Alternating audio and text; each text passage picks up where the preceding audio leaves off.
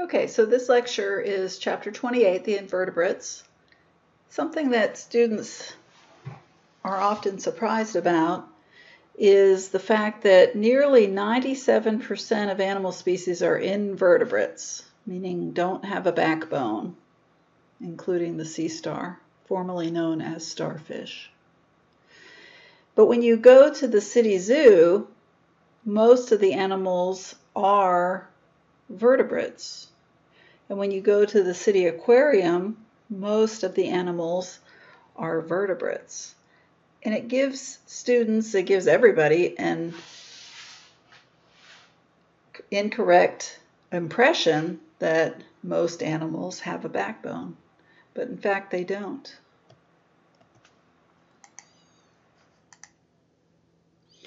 So in this picture we have uh, the sponges. Sponges are members of phylum Porifera. There are groups called the Calcarea, which have a calcium carbonate uh, structure, exoskeleton, skeleton structure. There are silica exoskeletons among the sponges. There are sponges that have spongin and collagen in their exoskeleton, which are much more flexible. But the sponges are a pretty diverse group, um, and they are the simplest, they are the most primitive of the invertebrates, of all the animals actually. They do not, as a group, have a body symmetry that is consistent. So we say that the porifera are asymmetrical. When they are larvae, meaning after egg and sperm fuse, it grows into a small little larva and it swims, but the adults are what we call sessile, which means they attach to a surface and then they stay in one place. They only have what's called intracellular digestion, which you may recall is when a single cell takes in by endocytosis a food vacuole and that food vacuole then fuses with a lysosome, and the lysosome contains hydrolytic enzymes for the breakdown of the macromolecules in that food vacuole, and that that releases the monomer units into the cytosol for the cell to use. In later groups, we will talk about extracellular digestion, which is more common among the animal kingdom. Like many animals, they have sexual reproduction, meaning some sponges make eggs, some sponges make sperm. They also have asexual reproduction. In sponge, that means that if a fragment of a sponge for some reason breaks off of a larger sponge, it can land somewhere else and attach and grow and become its own sponge. Sponges are unusual in the sense that they don't have true tissues because the embryo never goes, never becomes a blastula and never becomes a gastrula. And remember that gastrulation is the event that defines the first two germ layers, the first two tr uh, true tissues. So the sponges do not have true tissues.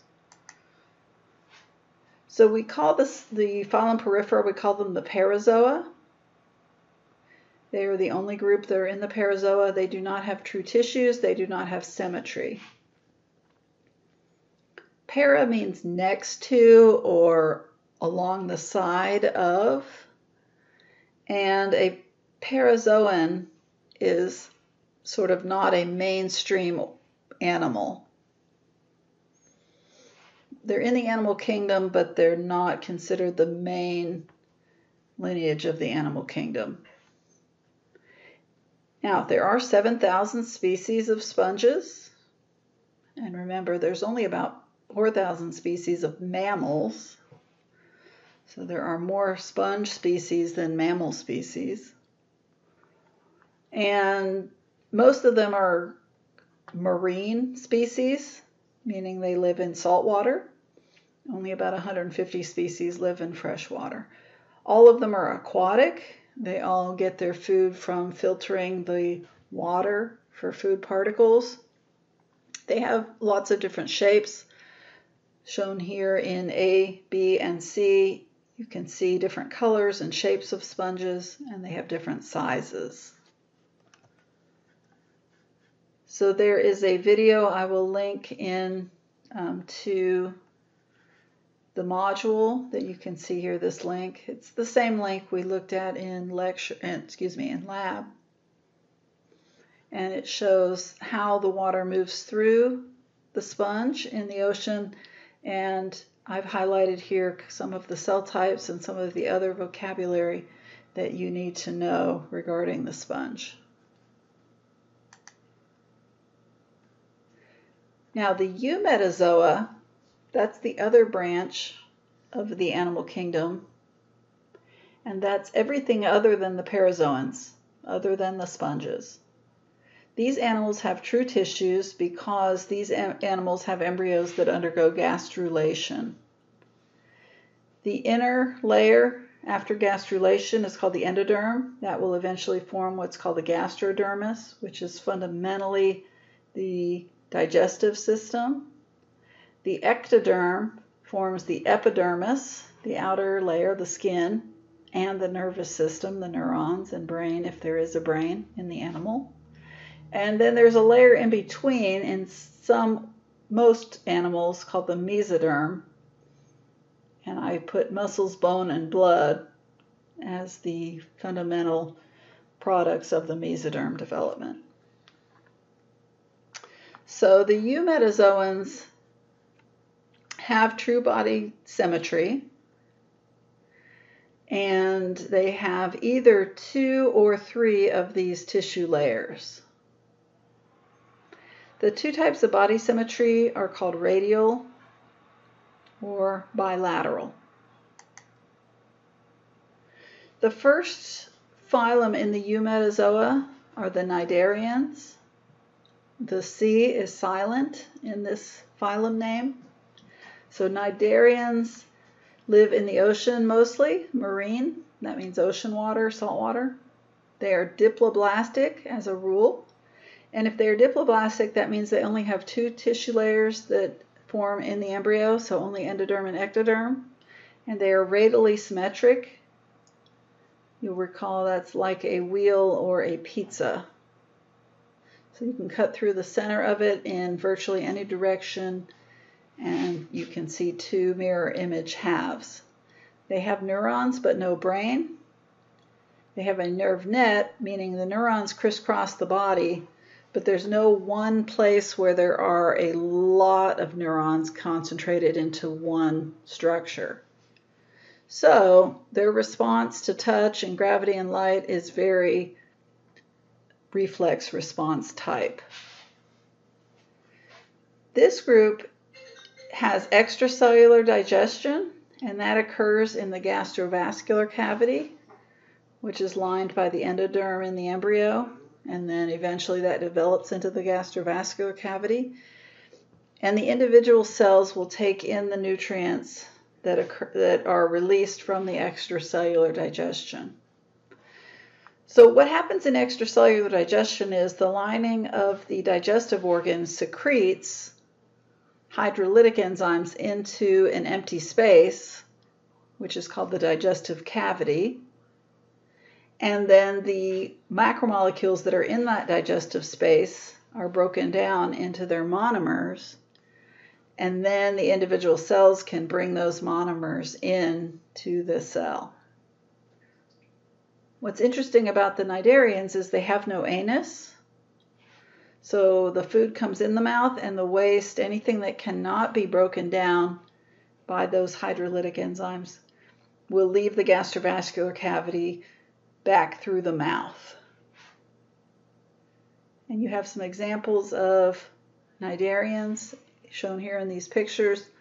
The one that I want to bring your attention to would be the hydra which you saw in the lab module. The hydra is a polyp, meaning it attaches at the base, and then the mouth is in the center of all these tentacles. The cnidarians have cnidocytes, which contain an organelle called nematocysts, and those contain a kind of a dart or a harpoon structure that is spring loaded and also has venom, usually a neuro, neurotoxin. So this picture shows the medusa form of the body and the polyp form of the body. If there's a polyp form of the body, that means the base here would attach to a surface like a rock in the ocean, and the mouth faces upwards and the tentacles ring around the mouth. The tentacles are where the cnidocytes are located. The medusa is not attached and the mouth faces downward. In either case, the blue line here shows where the gastrovascular or digestive cavity is found. And food goes into the mouth. The cells surrounding the gastrovascular cavity secrete the enzymes into that space. And then the digested, the products of digestion, I should say, are absorbed back into the cells of the body. Anything that cannot be digested has to come back out through the mouth. In between the endoderm and ectoderm, there's a layer called mesoglea. And mesoglea, it has a jelly-like consistency. It's a, it has a certain amount of carbohydrate in it. And so that's where the term jelly comes from. So mesoglea is the scientific term for jelly. Now it's not a jelly that you would want to eat on toast but it is a type of sticky carbohydrate substance, and that's where it got its name, jelly. So this is a close-up of a cnidocyte, which is the cell. So the cell is the larger structure. Within the cell, the most prominent organelle is the nematocyst. So CYTE means cell. CYST does not mean cell. So it's very close, but there's a, a distinction. Cnidocytes are the cells. They contain organelles called nematocysts. The nematocyst has a trigger. It's touch sensitive.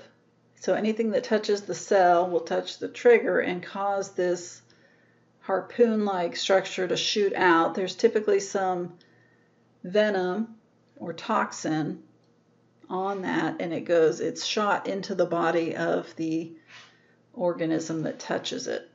So these cnidocytes are all over the tentacles of the cnidarians. The sea anemone it has a polyp body style.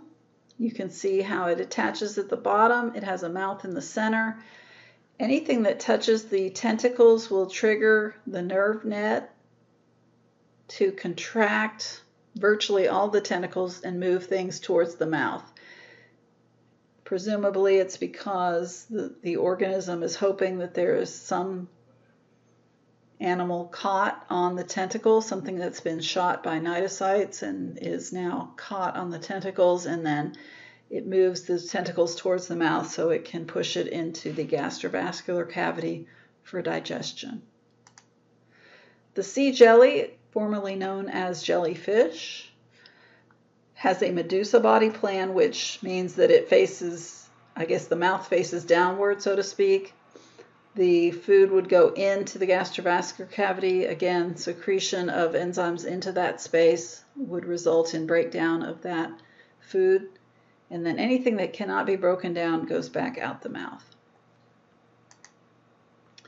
Most of the time, the danger that a cnidocyte poses, excuse me, the danger that a cnidarian poses to um, another animal has to do with the size. So if a huge cnidarian attacks, not really attacks, but shoots toxins into a smaller prey animal, then because of the amount of the toxin, it would probably kill the animal because most of the toxins are neurotoxins. but it does have to depend on the dosage that's delivered into the prey. So if you get stung by a jellyfish, if it's a small jellyfish, it's just going to be an irritation. But if you get stung by a huge man of war, which has tentacles that are 10 or 100 feet long, then you could die because of the, the amount of neurotoxin that's being delivered. So it, if the predator is larger than the prey, it's pretty likely that the prey will die. But there are some really tiny sea jellies called um, cubozoans, and they have toxins which are extremely poisonous. So even though they're very small, you can see here in picture A how small they are. There's one in there in that jar. They are very toxic. They do not, at this point, appear off of the coast of the United States. But the way that global warming is causing animals to migrate, um, that may or may not hold true in the future. All right, I'm going to take a break here and continue with this lecture in the next segment.